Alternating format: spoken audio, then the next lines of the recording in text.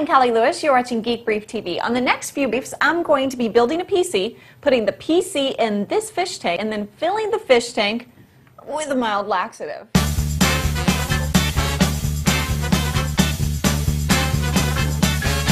I have an Intel Core 2 Duo processor, 3 gigahertz. And take it out of its package. If you've never seen a processor, it's a thing of beauty. Take a look at this. All right, so now this goes on the motherboard, and this motherboard is an F an XFX. I can't say that. XFX motherboard. All right, slip it in there on the motherboard. Close, and we're going to lock.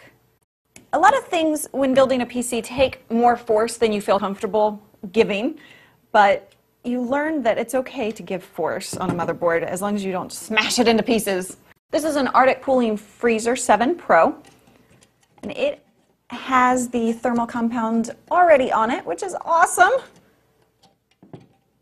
go. I am just trying to get this into place, and it's harder than it looks. The kit that I'm working with is from PugetSystems.com. You can buy the kit, get your motherboard, get your hard drive and everything. And now I'm going to put this on here.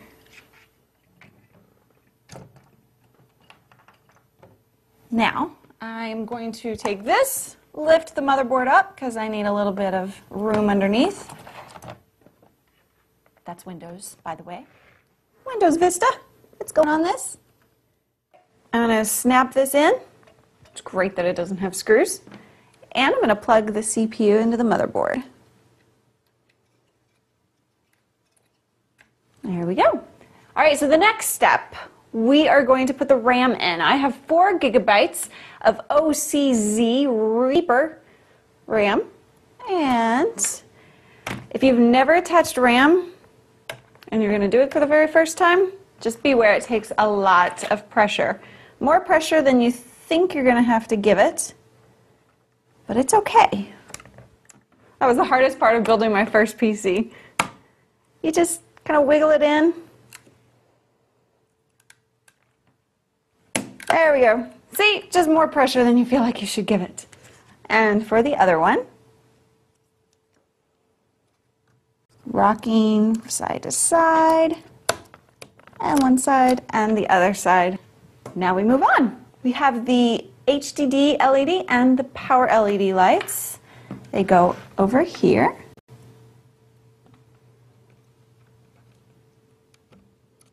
All right, that's good to go. Now, what I'm going to do before I start plugging everything else in is attach it to the kit, the fish tank kit that I got from Puget Systems.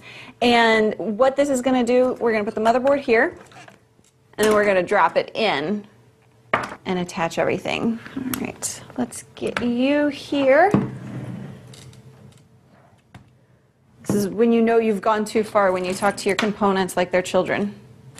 you know, it's amazing how much more comfortable I feel with the components, with the motherboard, working with them the second time around. It really goes to show you do something once and it takes the fear out of it.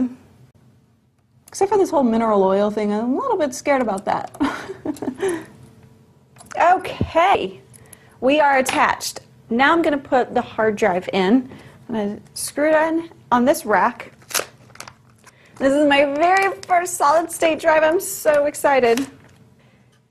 It's 120 gigabyte solid state drive.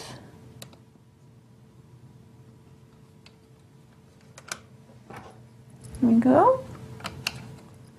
Whoops. As always, when you're screwing something in, it's a little easier just to get stuff started on all sides and then tighten from there. All right, we're in. Move that stuff away.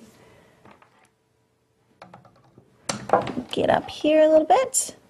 This is data we're plugging in. Power. Okay. We have a couple of other things to plug in, like the power supply. Uh, but I'm going to go ahead and wait. Well, no, I'm going to go ahead. I'm going to take a risk and plug it in before we put it into the fish tank. I'm just probably going to need a second couple of hands to help with all the lifting and organizing. You can't have an aquarium without rocks. So let's put it in. Whoa. Sorry for the noise.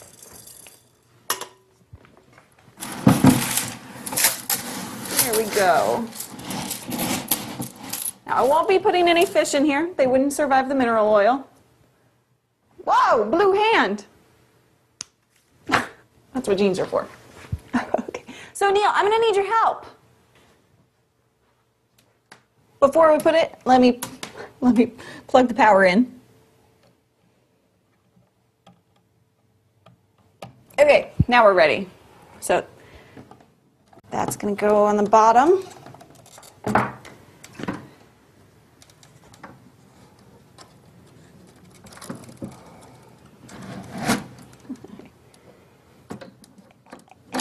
Should you attach this?